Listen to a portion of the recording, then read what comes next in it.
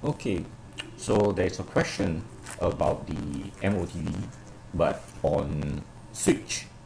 Okay, so this is, clip is to uh, show how it is done. Right. So I already pull out the switch. Okay, all right, down here. Okay, so I'm using the 2900 series. Okay, so you can see the name over here. Okay, so basically let me just go into it. Right and I'll go in the straight into the CLI command line interface which has already booted up. Alright so you can see the Cisco IOS boot up process. I won't go into the detail. And I will just hit enter so I get the switch prompt. Okay but if you want to configure the MOTD alright first you need to enable because uh, you are now at the lowest uh, privilege. You can't do anything here. Alright. So enable. Okay.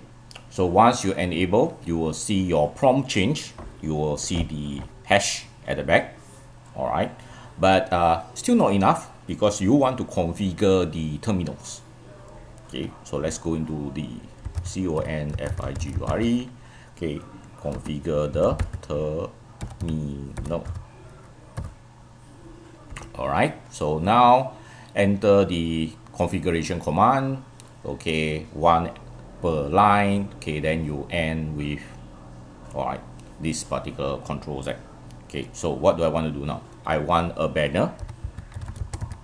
Alright okay for the MOTD alright and uh, what's the message?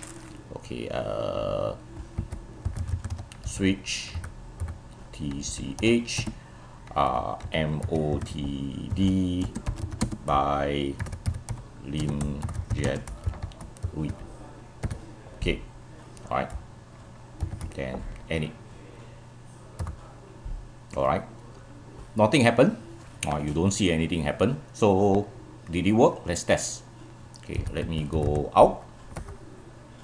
Okay, and out again okay now hit enter and you will see the MOTD message. Right switch MOTD by uh, Lim but of course uh, you will most likely create a proper message than this sample that I've given over here.